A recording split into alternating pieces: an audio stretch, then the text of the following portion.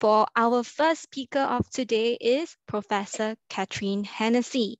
Right, Professor Hennessy is a gerontologist and professor of aging at the University of Stirling, where she's engaged in promoting interdisciplinary research on aging and older people.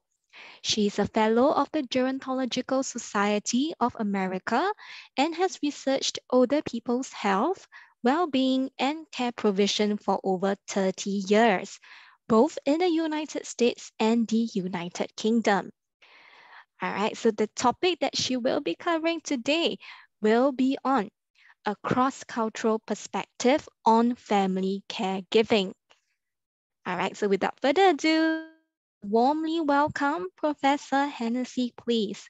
Over to you, Professor Hennessy. Thank you, Michelle. And thank you for the first slide. Well, good evening, everyone. Uh, and thank you for attending this presentation in which I just want to try to uh, give you an example of the, the kind of topic that we cover in the gerontology, uh, in the gerontology and global aging program. So this is kind of a, a mini lecture on family caregiving, which of course is a, a key topic in social gerontology. And it's an area in which I've done uh, research over the years with different cultural groups. So what I hope to do is just to give you uh, uh, some sense of the, of the kinds of common issues and similarities and, and differences in family caregivers' experiences in various cultural contexts. And, and I'll be focusing in particular on some research I did with uh, a particular ethnic population in the United States. So again, um, as Michelle said, please feel free to, to put any comments or questions you have in the chat and we'll have time for some questions at the end. Um, next slide, please. So, um, of course, you'll all be aware that globally, populations are aging through longer life expectancy, and there's an increase in particular in the number of those in the oldest age groups who are going to need uh, health and social care assistance. So, for example, um, after Japan, Singaporeans, uh, Singapore is the, the most rapidly aging country in Asia. Uh, in 2014, uh, older Singaporeans 65 and over made up 11.2% of the population. And by 2030, uh, it's now estimated that uh, one in five Singaporeans will be age 65 and over. So that's, as in other countries, a huge jump uh, in, in the older population. Also, uh, in many areas of the world, within the past generation, there have been significant changes in family structures, in family life, uh, and caregiving relations. For example, through the greater participation of women in the in the workforce, uh, and also uh, in things like the rise of non-traditional family types, so so single parent families. So in Singapore, for example, uh, just to use our example, close to 60% of women are working outside the home. And because they're the main caregiver of older relatives, uh, like caregivers worldwide, they'll be faced with uh, balancing the demands of work and, and family. Just to give you an idea of some other cross cultural variation in family structure. In Singapore, for example, close to 95% of older people live with family members. But here in the UK, 2.1% of households in England and Wales are multi generational family households. So include uh, more than two generations. So that's a huge difference. Um, in the in the structure of uh, uh, household composition.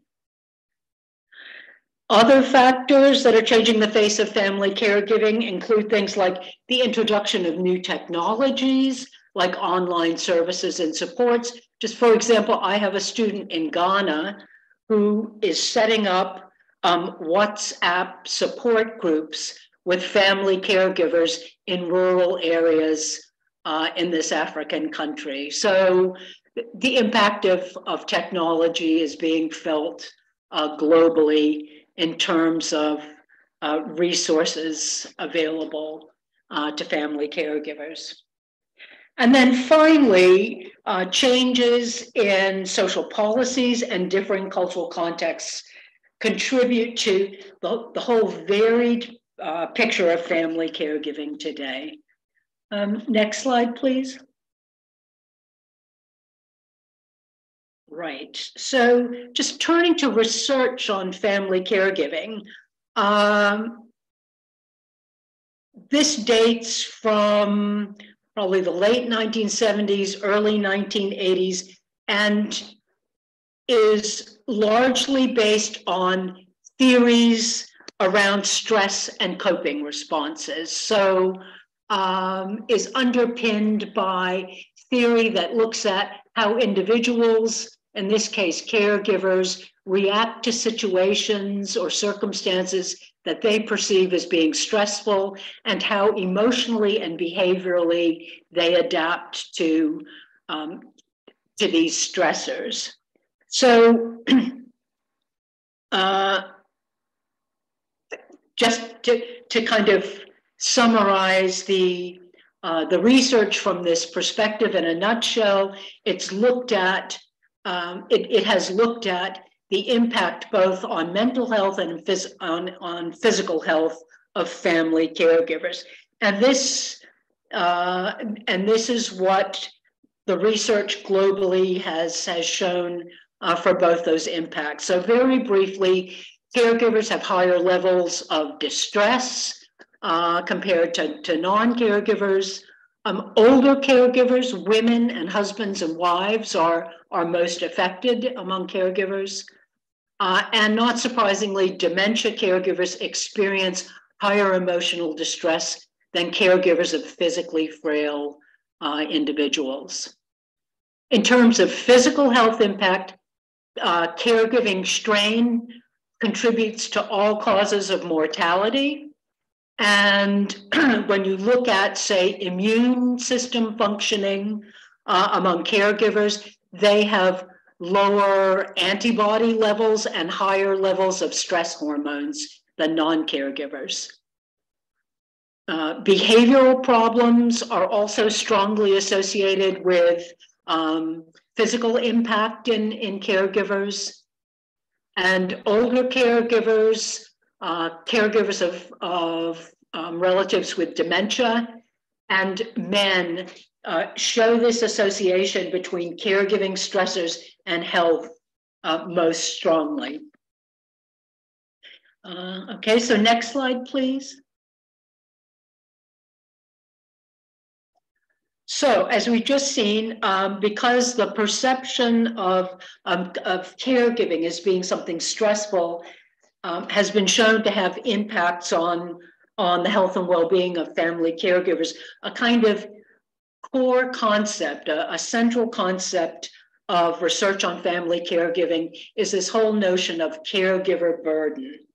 And, and gerontologists uh, have been working over uh, probably about four decades now on ways to how, how best to effectively measure um, caregiver burden. And there have been probably dozens of instruments that have been developed to assess caregiver burden over this time. And, and we'll be looking at just one of these uh, instruments, which is called Zarit's Burden Interview, um, that is based on 22 questions and it's often considered the kind of gold standard among these instruments, uh, both in research and it's also used um, extensively in, in clinical practice. So, next slide, please. So, this just gives you some examples of these items. And each item on the interview is, is a, a statement which the, the caregiver is asked to endorse or agree with uh, using a five point scale. So going from never to nearly always. Um, and responding to questions like Do you feel that your relative asks for more help than he or she needs? Do you feel that because of the time that you spend with your relative, you don't have enough time for yourself? Um, do you feel stressed between caring for your relative and trying to meet other responsibilities for your family or work? And things like, do you feel that your social life has suffered because you are caring for your relative? So that just gives you an idea of the flavor of the questions. Um, as I said, this, this scale has been extensively used uh, cross culturally. There are shorter versions of it, and it's been translated into um, many languages. And there is a validated um, there is a validated version for the Singaporean context. Um, next slide, please. So uh, now I'd like to turn to an example of research that I did on family caregiving uh, within a very different cultural context in the United States. And this was with uh, family caregivers of American Indian tribes. And just for your information, there are 563 nationally recognized uh, Indian tribes in the United States. Uh, with improvements in life expectancy among American Indians, which was only about 50 year 50 years of age back in 1940, but that shot up to about 70 years um, in 1980. Uh, so now, uh, with this increase in life expectancy, they're one of the fastest growing groups of older people in the United States. Uh, but the healthcare system uh, hasn't yet caught up with the needs of this aging population. And there are still, or at the time I did this study, um, very few services specifically for older Indian people. And many of these uh, populations live on uh, reservations in, in quite rural and remote areas, which of course makes the delivery of services um, challenging a lot of times.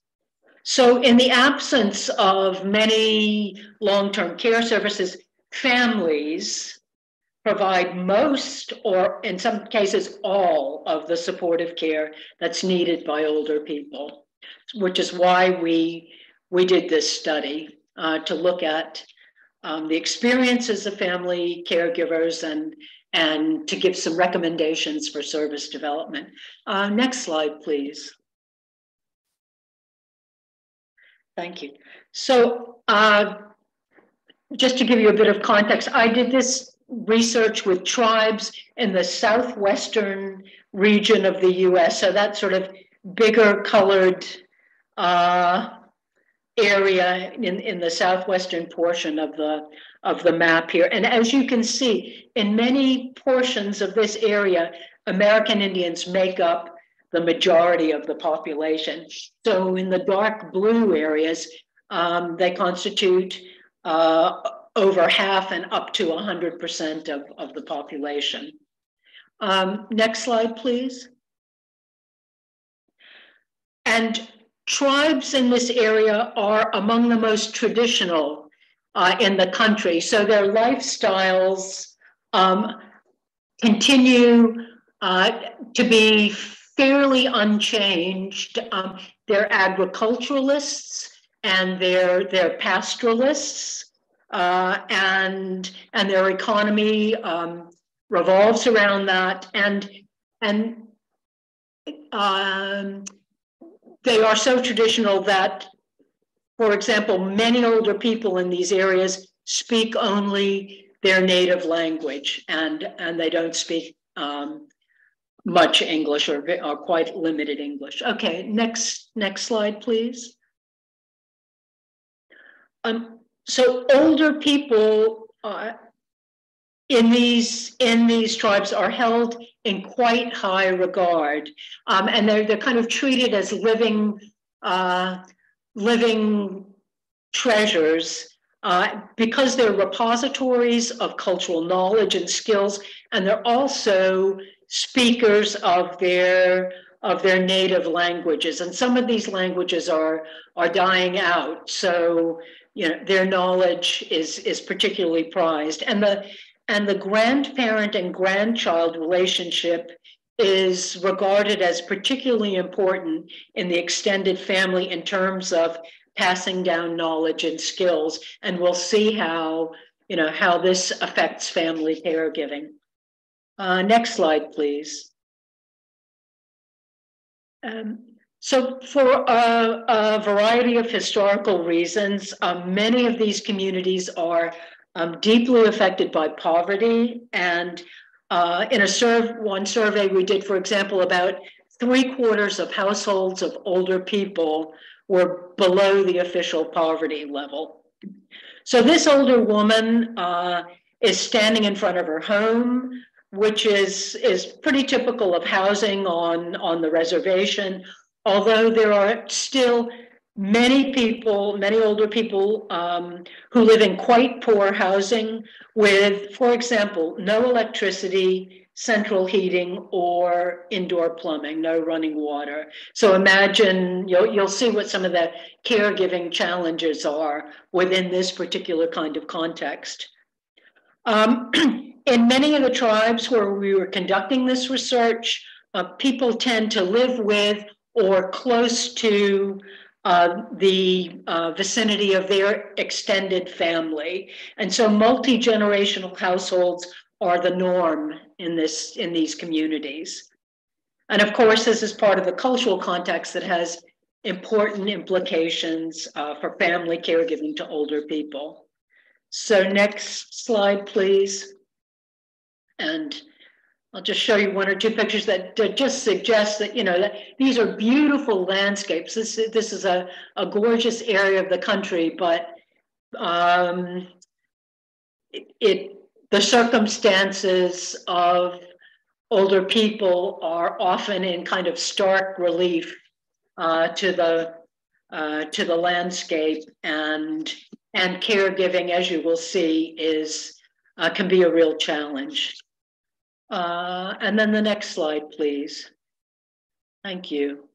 So just to introduce our research a bit, our, our we did research on family caregivers that involved um, a survey of family caregivers, and we also conducted focus groups with the main caregiver, the primary caregiver of uh, caregivers of an older person who needed assistance with uh, a certain level of activities of daily living and with their health care. So the, the survey that we carried out um, involved the kind of usual questions and caregiving research about which family members are providing care, um, what kinds of care were, was provided, uh, the, the extent of care that, that uh, was needed by um, the older person, and the kinds of problems that caregivers uh, experienced. And next slide, please. I just want to show you, um, these are some examples of uh, the survey. Um, and, and I just, with this example, I just want to show you how we had to adapt questions to make them culturally appropriate to the circumstances of this tribe. So we wanted to ask a question about how much physical activity, uh, you know, these caregivers got, because of course that's pertinent to their to their health, to maintaining their health. But so the first question really was the kind of appropriate way to ask this. So we asked, how often do you get exercise such as walking, herding sheep, chopping wood, or riding horseback. That's um, to, to, to make this really reflect the, the circumstances of these caregivers.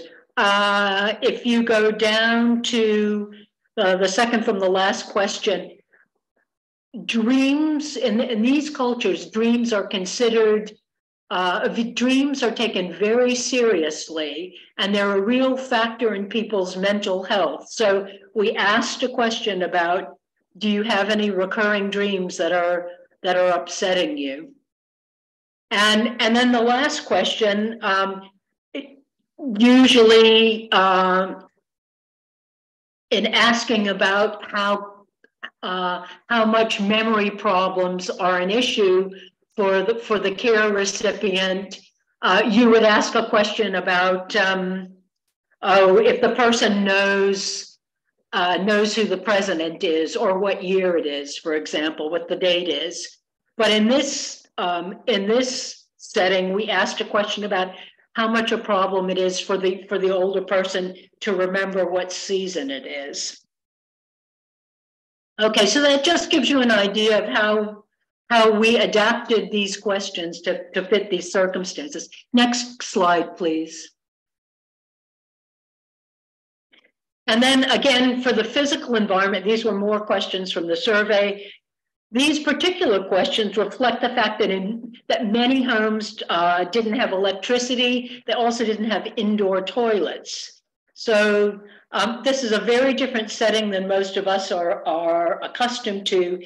And these things shape these caregivers' needs uh, and experiences. Next slide, please.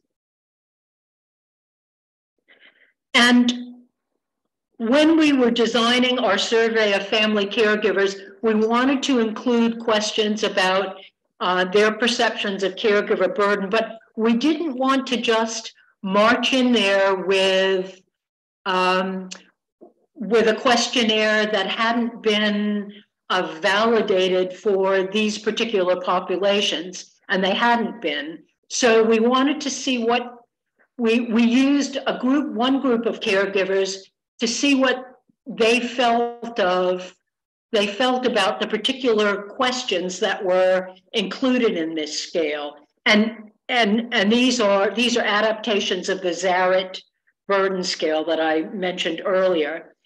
And it very interestingly, the the the people in the the caregivers in the focus group said that issues that had to do with the personal impact, um, the your the personal impact of burdens like time for yourself or or privacy or effects of caregiving on your social life they said that they didn't really make sense to them within the extended family context.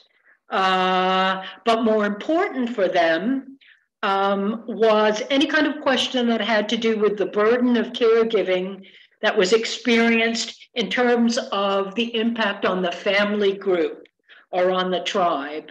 So these these um, caregivers are very much oriented towards um, not just, not their needs as an individual so much as the needs of the of the family, um, which is a very particular cultural orientation. Okay, next slide, please.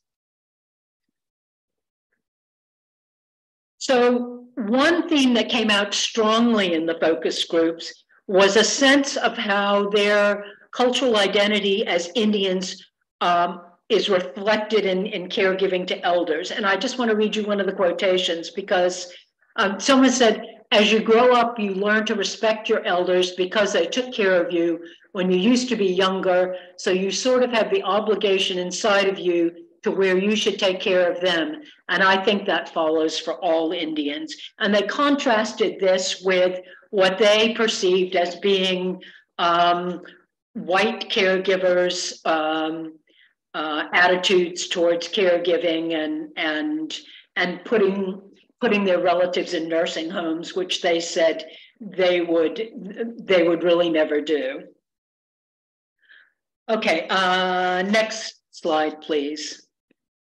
So we also uh, identified some of the major themes related to sources of caregiver burden in the, the focus group uh, interviews and the first one of these was uh, the, really the challenges of managing medical care within the home setting. And this particular quotation's talking about you know, the difficulties of managing uh, severe complications of diabetes within the home setting and just um, just by the by, um, diabetes is hugely prevalent in these in these tribes. So imagine uh, managing, you know, the uh, amputation, you know, the an amputation uh, from diabetes within the home with limited support from healthcare professionals and huge distances sometimes between you know where the person lives and and healthcare facilities. Because that was mentioned as a real um, source of stress. Next slide please. Um, problems and, and uh, another big theme was around having to provide psychosocial uh, support to the older person. So problems for example um, with like a, a, the older person having depression or being non-compliant with with treatment was identified as um, stressful by caregivers who said that healthcare professionals really sort of just left that to the family uh, and didn't act, offer any kind of active support for these kinds of, of challenges. Um, next slide, please. And then um, strains on family relations uh, were a particular source of burden, and I've I've talked about you know the importance of the of the extended family um, in in our um, and, and and the participation of uh, extended family members in the caregiving picture. So our survey told us that 78% of our uh, caregivers reported that other family members were involved in the caregiving picture. So there was a whole wide range of relatives involved in the in the caregiving picture. For example, um, close to 20% of um, close to 20% of those uh, family caregivers had other family members. Um, so for so not not spouses or sons or daughters uh, or grandchildren, but other relatives from the wider extended family involved in the caregiving picture. And it was particularly stressful for caregivers when they couldn't coordinate when there were stresses and strains in the in the family situation and they couldn't um, coordinate care as well as it needed to be coordinated. And they found that to be a real burden. Uh, next slide, please. Uh, and then, of course, as with caregivers everywhere, negative effects on uh, on personal health and well-being, things like you know, be, having your sleep interrupted, uh, the physical and emotional challenges of caregiving that led to um, that led to health and, and well-being problems. So one young woman uh, was talking about caring for her two grandparents, and she said, "My back has been hurting. I pick her up the wrong way sometimes. I pull the muscle in my spine. This is while she was chopping wood for the indoor stove, and my back was hurting for almost two weeks. I kept pulling myself to try to keep uh, to try to keep them warm, and I had to struggle for six days to come back down, do the same things, go back up, and do the same things, and to to haul water out of the well uh, for household use. So, as you can see, um, the whole context of caregiving and some of these caregiver caregiver situations were particularly um, challenging. Uh, next slide, please. Um, but caregivers also told us about the kinds of sources of satisfaction um, that that they had, and these were around three three particular points. One had to do with being able to successfully routinize um, the care regimen. So um, being able to uh, use particular tricks and tips to um, to manage the care routine smoothly. And that was a kind of learning curve for caregivers. But once they could achieve that, that gave them a, a certain degree of satisfaction. Um, the second source of, of satisfaction uh, had to do with, as I said, um, just achieving harmony and family consensus uh, around, around the caregiving situation. And then finally, um, being able to get occasional respite from caregiving, uh, a break uh, away from the caregiving situation, if that was possible, was very important to being able to go back uh, to these caregiving responsibilities, which people were, were happy to take on because caregiving was a very culturally, um, a culturally important family responsibility. But all caregivers wanted in some cases was the occasional break from caregiving.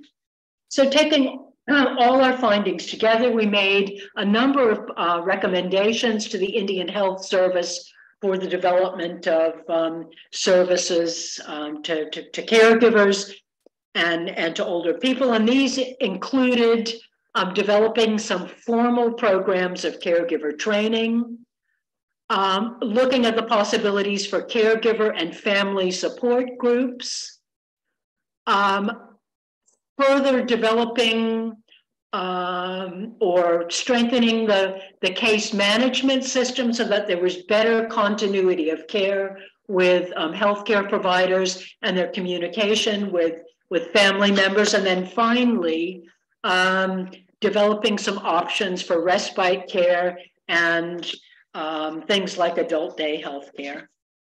And then the last slide, please.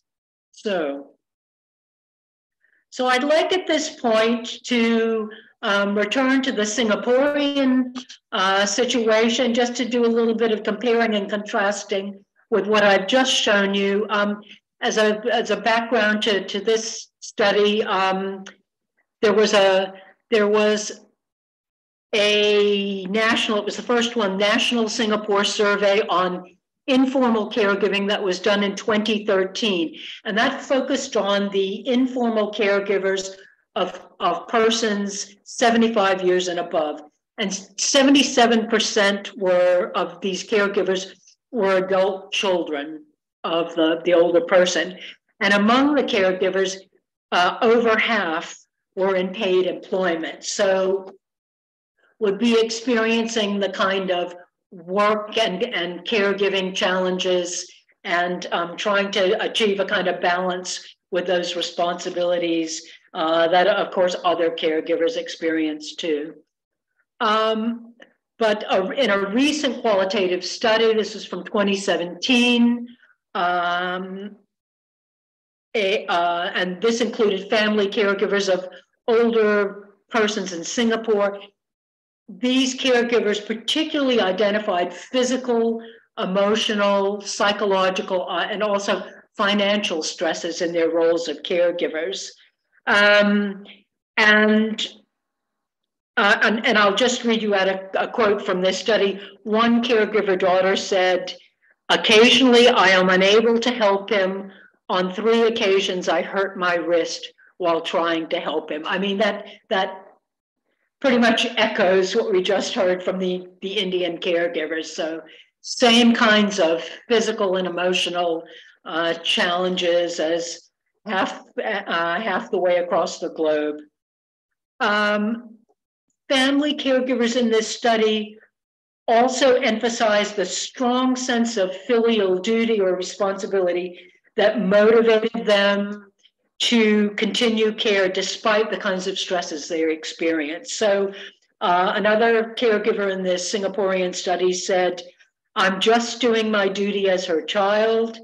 She took care of us uh, till we are all grown up. So now it's our turn to take care of her. So she took care of us in the past. So now we must take care of her. So it, this just echoes um, these, you know, what what uh, the Indian caregivers said. So very similar sense of um, caregiving responsibility.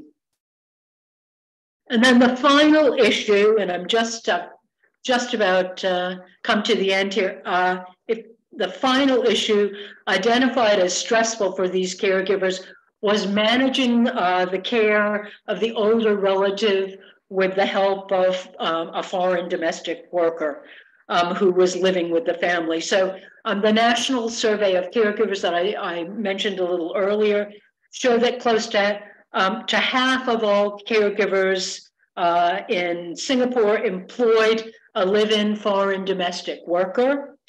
Um, and, and these caregivers said that coordinating this support with, with their own work responsibilities and possible other family members uh, being involved in the in the picture, in the caregiving picture, was very frequently a source of, of stress for them. And the authors of this study uh, concluded the findings point to the need for improvement in policies, training, and support for caregivers. So very much along the lines of um, what I found with another group of caregivers. So, um, so that's uh, the end of the, the presentation.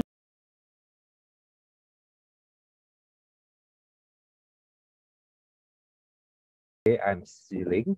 Uh, I have been working with the university for about 15 years to date. And this is our this year marks our 11 year partnership with SIM. Okay. Uh, a little bit background about the university where Catherine and myself work for.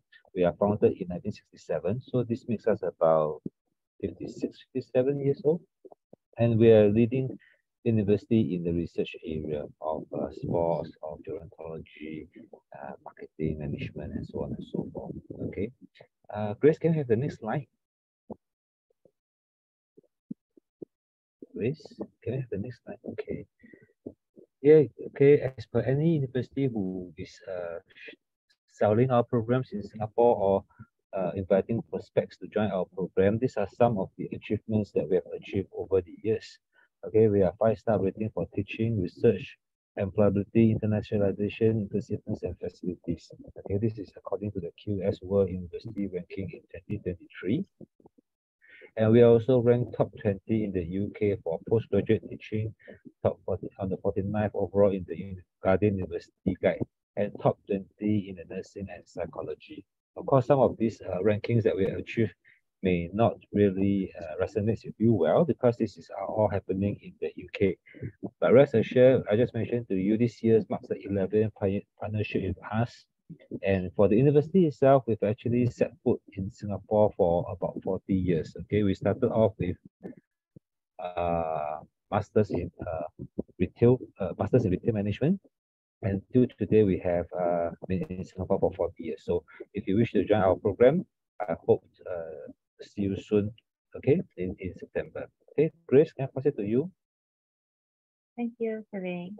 Okay. Okay. Uh, so uh, for this program, why we have this ma Master of Gerontology and Global Aging with the University of Stirling, because Stirling is actually home to the Dementia Service Development Center. So it's actually an international center of knowledge and expertise dedicated to improve the lives of people with dementia through in UK, Europe, China, and Australia on dementia-related issues and training and consultancy for the private sector. They also have extensive international focus and opportunities to learn from a variety of researchers, practitioners, and also business, ranging from a different range of disciplinary backgrounds with global and international experience with uh, whose research is actually focused on aging issues. And Stirling has a solid foundation for progression to doctorate studies, and they are actually a world-class education in social gerontology and aging studies. So what is program? Who are the target uh, uh, to sign up for? People who are actually working directly or indirectly in policy, research, practice, care provision, or you have business roles related to aging and older elders, or you have planned to start a career in this area. So uh, for our program, we also welcome practitioners professionals from overseas to join us. So what is the learning outcome you get from this master program? Upon completion of this program, students will be able to demonstrate detailed knowledge of gerontology, global issues, and initiatives in policy or practice in the field of aging. They'll have a critical understanding of the principal theories and research methods used within gerontology and aging studies. And we hope that you can actually apply the extensive detail and critical analysis to global aging issues using both local and international examples. And you'll be able to develop, develop knowledge and skills that can be utilized within healthcare practice settings and policy or business areas related or associated with older people and the aging populations. So this is actually our program structure. It's actually a two-year program. So uh, for the first semester, it's actually in, from September to December. We have actually two modules, inter the interdisciplinary perspective of aging, research methods in the social sciences. So come January and April, we have another two modules that will be running. So uh, this is actually the structure itself. So if you have any questions related to modules, feel free to email or touch base with us later also. So the key items for you to take note is actually a 24 months part-time program. So this is ranging from September 2023 to April. Then you have a break and it will continue from September 2024 to May 2025. The module delivery will be two modules per term so it ranges around 10 weeks. It's actually a eight, uh, 180 credit program. So there'll be seven modules with 20 credit and 40 credit for your dissertation. It's actually a, a blended learning. So the program will be taught online by Stirling faculty. Then we'll actually have face-to-face -face tutorial support by qualified local associate lecturers. And the online activities actually include a mixture of guided studies, uh, independent studies, online discussion boards, as well. Assessment will be actually including like what uh, written assessment, online exams or reports or presentations and case studies on your uh, or online discussion boards. So the admission criteria will be actually you need have to have a minimum of second class honors specialist degree, experience of working with older elder populations in healthcare population, or business setting or research experience with older population is recommended. All other qualifications will be reviewed on a case-by-case -case basis and may be subject to interview. So don't worry about the criteria. Please feel free to apply accordingly. Uh, the, there's a basic English language requirements. If your degree is actually not obtained in the uh, English medium, you are required to meet the following uh, criteria. This is the program fee for our September intake. The application fee will be uh, Sing dollar, $97.20. The program fee for the whole program is actually $30,240. These fees are inclusive of the 8% GST and are payable on a modular basis before each module commences. So our coming important dates to take note is our application closing date will be 10th of July 2023. Our class commencement will be in September 2023. So if you have any queries with the program, please write to us at this email address and we'll actually contact you as soon as possible. If you have any questions after today's event, after today's talk, can always drop us an email either to uh, Mr. Ng, who is the program manager, or to our SI admin staff to Grace or Barry via this HE3 email address.